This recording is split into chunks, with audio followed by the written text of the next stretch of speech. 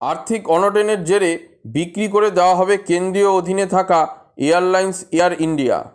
আর এই সংস্থার বর্তমানে কাজ করছেন এগারো হাজার কর্মী। বেসরকারিকরণের পর তাদের চাকরির গ্যারান্টি দিচ্ছে কেন্দ্র। কিন্তু সেই গ্যারান্টি মাত্র এক বছরের। অর্থাৎ বেসরকারিকরণের পর এক বছর যাতে এয়ার ইন্ডিয়ার কোনো কর্মীর চাকরি না যায়, সেটাই নিশ্চিত করছে কেন্দ্র। কর্মীদের জন্য অতিরিক্ত খরচ ও সেই তুলনায় স্বল্প রোজগার হচ্ছে। তাই বিক্রি করে দেওয়ার সিদ্ধান্ত নিয়েছে এয়ার ইন্ডিয়া। এয়ার ইন্ডিয়া কর্মীদের জন্য মোট খরচ তিন হাজার পাঁচ কোটি টাকা, যা দু হাজার উনিশ অর্থবর্ষের রেভিনিউর এগারো দশমিক চার শতাংশ। দিনের পর দিন ঋণ বেড়েছে এয়ার ইন্ডিয়ার। আর্থিক দিক থেকে কার্যত দেয়ালে পিঠ থেকে গিয়েছে এই সংস্থার। সরকার এই সংস্থা বিক্রি করে দেবে বলে আগেই শোনা গিয়েছিল। কিছুদিন আগে সে কথা সরাসরি ঘোষণা করেন অর্থমন্ত্রী নির্মলা সীতারামন। তালিকায় এয়ার ইন্ডিয়ার পাশাপাশি যোগ হয়েছে ভারত পেট্রোলিয়ামের নামও।